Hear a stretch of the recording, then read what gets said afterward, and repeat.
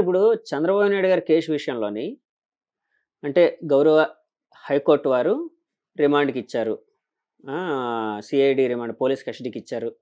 So అందులో వాళ్ళు enquiry చేశారు సిఐడి ఆఫీసర్లు వెళ్ళి జైల్లోనే. వాళ్ళు ఏం చెప్తున్నారంటే చంద్రబాబు నాయుడు గారు మాకు కరెక్ట్గా సహకరించలేదు. ఇంకా మేము అడగాల్సింది చాలా ఉంది. కాబట్టి మాకు ఇంకొంతకాలం ఆయన రిమాండ్ ఇవ్వండి మా కస్టడీకి ఇవ్వండి అని వాళ్ళు అంటున్నారు. టీడీపీ వాళ్ళు అంటే ఏం చంద్రబాబు నాయుడు గారి తరపు న్యాయవాదులు ఏమంటున్నారంటే పరిపూర్ణంగా సహకరించారు. కాబట్టి రిమాండ్కి ఇవ్వాల్సిన పని లేదు అని వాదనలు అయితే నడుస్తున్నాయి. అంటే ఇదే టైంలోని ఐఆర్ఆర్ ఇన్నర్ రింగ్ రోడ్ వ్యవహారం ఏదైతే అమరావతి దగ్గర ఉందో అక్కడ వెలుగులోకి వచ్చింది. దాని మీద పీటీ వారెంట్ కూడా జారీ చేశారు అనేది వచ్చాయి.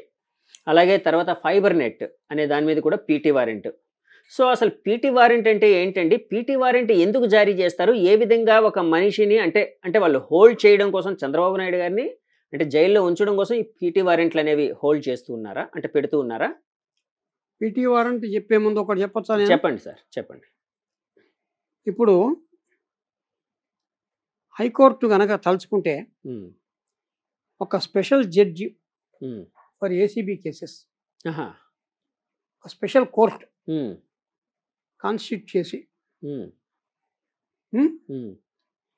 టీడీపీ పార్టీ తరఫున వంద కోట్లు. డిపాజిట్ చేయాలి. ఓకే. వైఎస్ఆర్సీపీ తరఫున వంద కోట్లు డిపాజిట్ ఏమండి? ఓకే.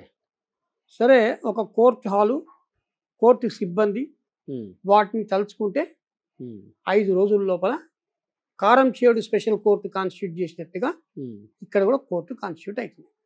ఓకే. అయిన తర్వాత మీరు బెయిలు జైలు క్వాషు అన్ని పక్కన పెట్టేదాం స్టార్ట్ చేసేసాం ట్రయల్.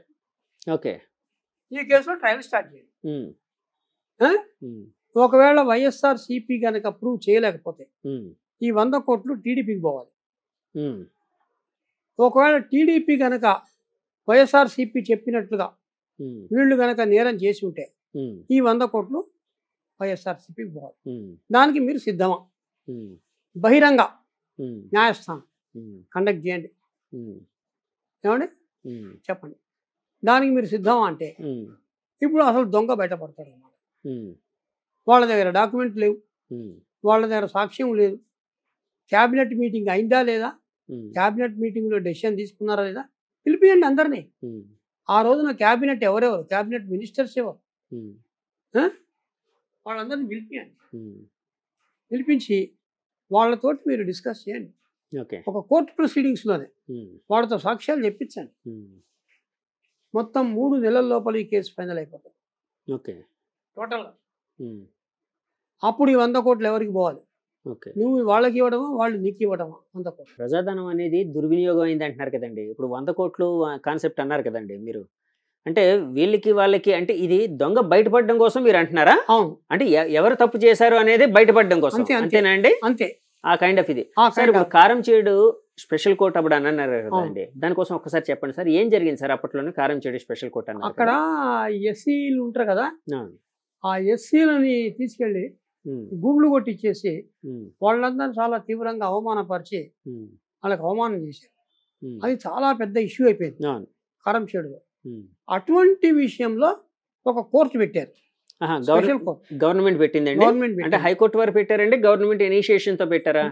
ఈ high court chief justice chief minister తోటి కన్సల్ట్ అయ్యి ఓకే. కోర్టుని కాన్స్టిట్యూట్ చేస్తారు. ఈ రోజున కూడా చీఫ్ మినిస్టర్తో కన్సల్ట్ అయ్యి ఓకే. చీఫ్ జస్టిస్ ఫలానా చోట ఒక కోర్టు పెడదాం. దాని పేరు special judge ACB and SPG cases um, పెట్టు. ఉమ్, ఈ ఒక్క కేసే తీసుకుందాం ఎగ్జాంపుల్కి స్టార్ట్ చేద్దాం. చేసి ఇప్పుడు అందరికీ ఏంటి? అయిందో లేదో? మూడు వందల తొంభై ఏడు కోట్లు తినేసాడో లేదో? ఆ విషయాన్ని బయటికి తెద్దాం. ఓకే. ఏమండి? వైఎస్ఆర్సీపీ చెప్పింది నిజమైతేనేమో అప్పుడు ఈ వంద కోట్లు వైఎస్ఆర్సీపీ ఖజానాకి వెళ్ళిపోవాలి. చెప్పింది అబద్ధం అయితే. అప్పుడు వైఎస్ఆర్సీపీ వంద కోట్లు టీడీపీకి చేసి మీరు అన్నది అంటే ఎవరు తప్పు చేశారు అనేది వెంటనే బయటపడడం కోసం ట్రయల్ అనేది వెంటనే అంటే అంతే. వాదోపవాదాలు నిజం అనేది బయటకు రావడం కోసం ఈ కైండ్ ఆఫ్ పెర్స్పెక్టివ్లో చేస్తుంది అని బాగుంటుంది అన్నది మీ అభిప్రాయం. అవును అవును. నేను అనేది ఏంటంటే సార్ చిన్న సబ్మిషన్. ఇప్పుడు ఒకవేళ ఇలా జరిగితే ఎవరైతే తప్పు చేశారని తేల్తారో ఆ వంద కోట్లు ప్రజా ధనం కాబట్టి అంటే ప్రజా ప్రజాధనం దుర్వినియోగం అయిందని అంటున్నారు కదండి. గవర్నమెంట్ డబ్బు అనట్లే పార్టీ డబ్బు. వైఎస్ఆర్సీపీ పార్టీ ఉంది కదా. పార్టీ డబ్బునండి. పార్టీ ఆ. డబ్బుని ప్రజలకి ఇప్పుడు మన గవర్నమెంట్ సెక్టర్లోని డిపాజిట్ చేసి దాన్ని ఇంకా ప్రజలకు పనికొచ్చే విధంగా ఉపయోగిస్తే బాగుంటది కదా ఆ, అంటున్నాను. అట్లాగే అనమాట నేను అంటున్నాను అది. ఈ డబ్బు ఎవరు గెలిచినా కూడా అవును. అది ప్రజలకి స్పెండ్ చేయాలి. అవును. ఇప్పుడు ఆటో మిత్ర అని ఒక స్కీమ్ తెచ్చారు. అలాంటి స్కీమ్ తేండి అలాంటి స్కీమ్లో ఒక పదివేల ఆటోల బదులు ఒక లక్ష ఆటోలు కొని ఇచ్చేసేది తొంభై వేల మందికి ఉద్యోగం ఇచ్చేసినట్టు అవుతుంది కదా? అట్లా చేయొచ్చు కదా? ఓకే. అట్లాగనమాట. ఆ, అలాంటి ఏదో ఒక స్కీమ్ తీసుకొని రావాలి. ఓకే. లేకపోతే మామూలు రొటీన్ అంటే ఇది ఐదేళ్ళు పడుతుంది ఓకే. సార్ అలాగే పీటీ వారెంట్ల కోసం చెప్పే ముందు ఇది అన్నారు కదండి. PT PT warrant. వారెంట్ల కోసం కొంచెం చెప్పండి సార్. పీటీ వారంట్ అంటే production transit warrant. Production sir prisoner. Production transit. Prisoner కాదండి. కాదు కాదు. Okay okay. Production transit warrant. అంటే ఒక వ్యక్తి బెయిల్ ఆర్డర్ వచ్చింది. రిలీజ్ ఆర్డర్ వచ్చింది. అతన్ని రిలీజ్ చేయాలి.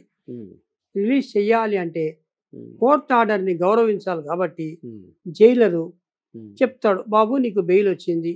మేము నిన్ను రిలీజ్ చేస్తున్నాము. రా నాతోటి అని చెప్పి ఆ జైలు యొక్క తలుపు గుమ్మం బయటికి కాలు పెట్టనిస్తాడు. సో ఎప్పుడైతే ఈ వ్యక్తి రెండు కాళ్ళు జైలు తలుపు బయట కాళ్ళు పెట్టాడో అక్కడికి రిలీజ్ అయినట్టు అనమాట okay.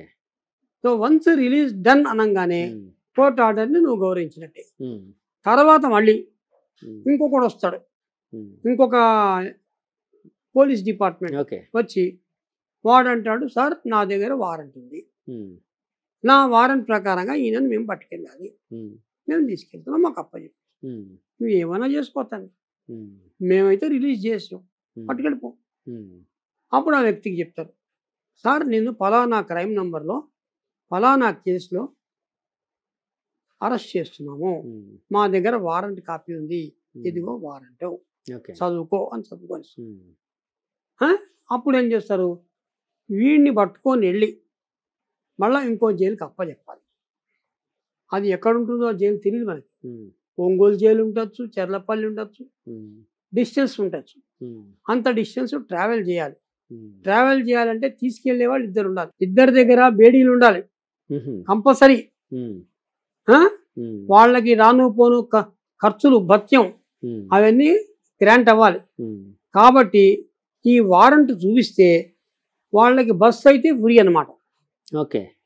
ఆర్టీసీ బస్సు ఎక్కారనుకోండి పీటీ వారెంట్ చూపించగానే ఫ్రీ. నువ్వు ఎక్కడికన్నా అక్కడ వెళ్ళిపోవచ్చు? ఉమ్, అట్లాగనమాట కాబట్టి చెప్తారు.